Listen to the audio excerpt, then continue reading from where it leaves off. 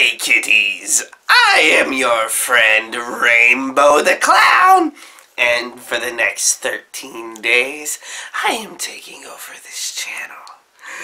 And you might be wondering why my face is all face painted up, like one of those insane clowns. Well, I figured, who better to review Insane Clown comics than an insane clown. That being said, thank you for joining me on day one of this Halloween themed 13 days as I will be looking at all 17 ICP comics. so I figured we're going to start a little bit small to start the 13 days off right. So we're going to look at the comicization of the very favorite song of mine, Halls of Illusions, off of the great Milenko album. So sit back, relax, look at your fate as we dive into Hall of Illusions number The comic begins with our psycho clowns asking the first ride participant for his ticket and warning him to watch his step regarding the Hall of Illusions.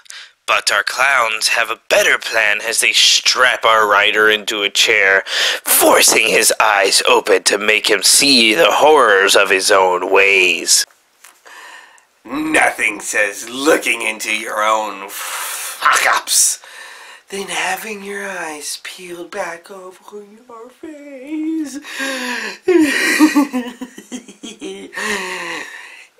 it doesn't hurt me, but it will hurt you. Victim wakes up having no idea what's going on while Shaggy sings about his perfect little life. Only it's not so perfect as he reveals it's not his real life while he gropes the dude's wife before slamming him back into reality where Violent J shows him how violent he is towards the love of his life. Jay then offers him a drink only to kill him with it, summoning the great Milenko.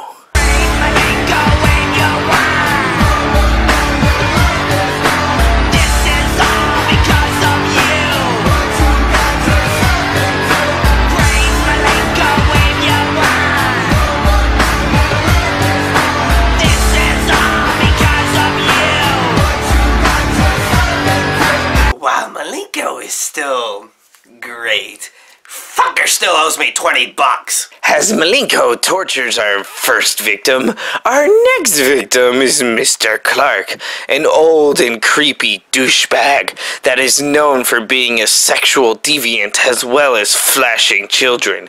He too is forced to look into his own life. At first, he is given high hopes that his family succeeded in life, but the reality is shown as he sees his daughter as a prostitute and his son, the crackhead, all due to his abusive ways.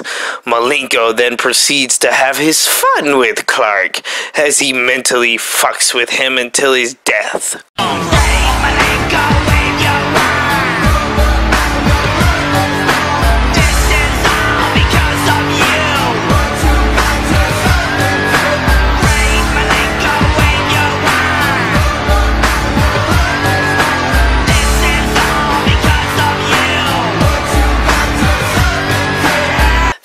Comic ends with Mr. Bigot demanding the halls stay open, but our posse has already closed up shop.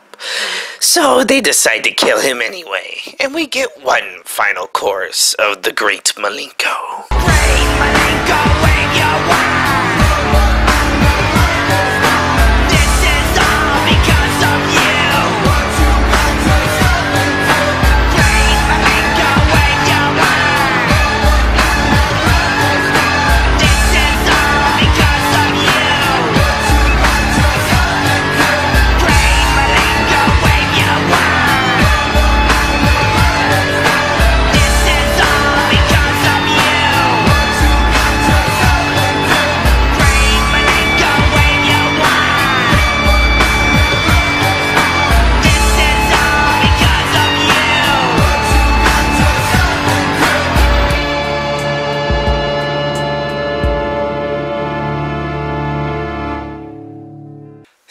There you have it.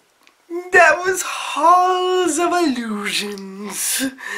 Join me tomorrow when we look at a little bit of a group called Dark Lotus.